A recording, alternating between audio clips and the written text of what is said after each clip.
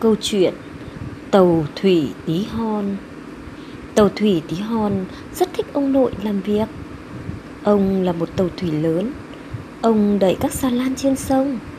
Tàu thủy tí hon thích làm việc với ông. Hai ông cháu hợp sức đẩy xà lan rộng lớn, chở đầy lúa gạo trên dòng nước mênh mông. Ái à! Một chiếc xuồng ngang ngáng đường kia. Các xà lan thì quá lớn, Mà tình thế lại quá cấp bách, Không tránh kịp nữa rồi. Tàu thủy tí hon vội vươn lên trước ông, Đẩy chiếc xuồng qua chỗ an toàn.